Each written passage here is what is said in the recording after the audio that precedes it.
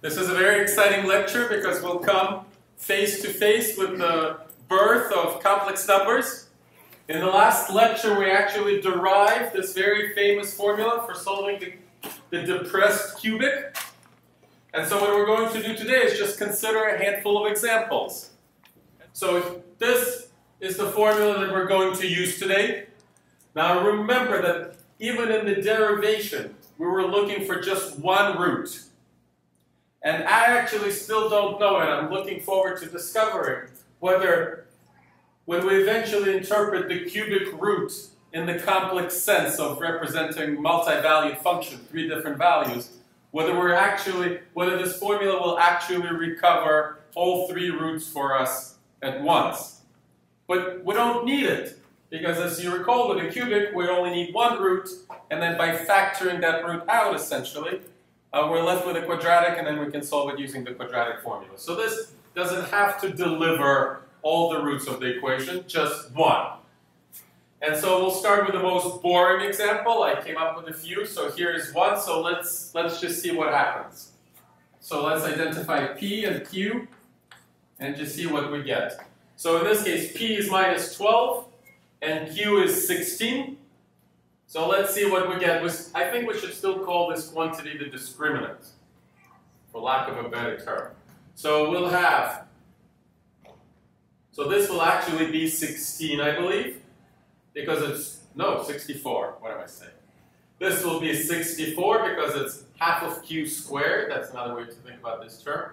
So we're looking at 64 here. And you can think of this as p over 3 cubed. So four, negative 4 cubed minus 64.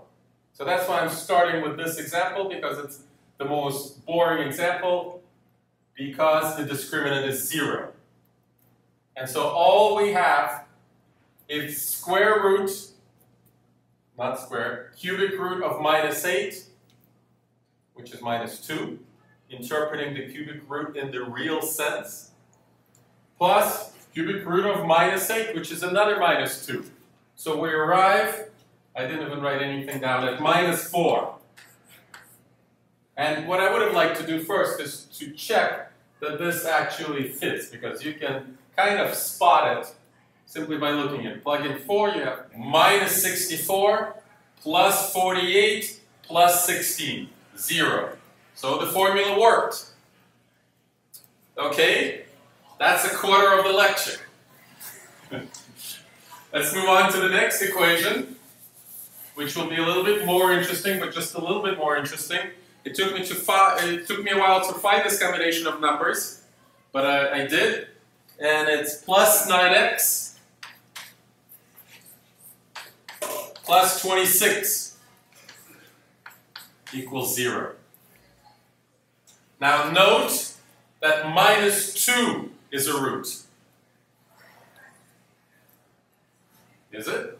Minus 8, minus 18, minus 26, plus 26 equals 0. So x equals minus 2 is a root. Let's see if we're able to get it out of Tartaglia's formula. So here, p is 9, and q is 26. So there'll be some work. So we'll have cubic root of q over negative q over 2, so negative 13. I'm a little nervous about that negative 13, hopefully it works out. Plus the square root. Trust your preparation. Let's see. It's going to be, okay, keep your P's and Q's straight. More important than ever. So Q. So it's going to be Q over 2, 13 squared so 169, I guess I shouldn't have hesitated there because this number is always the square of this, see?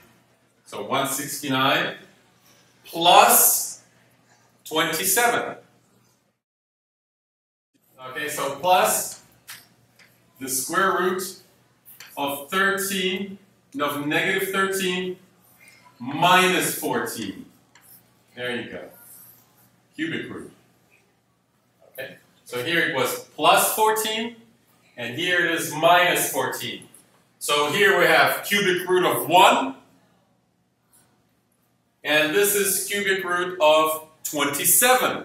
So we have 1 minus 3. Nice example. Equals minus 2. x equals minus 2, which we initially observed. So this is another example where the formula works without a hitch. Now they're, again, just planning for future enjoyment. This equation has two other roots. Maybe they're, maybe they're real, maybe they're complex. I haven't thought about it. Will this formula deliver them when we interpret the cubic root in the complex sense, which is coming up?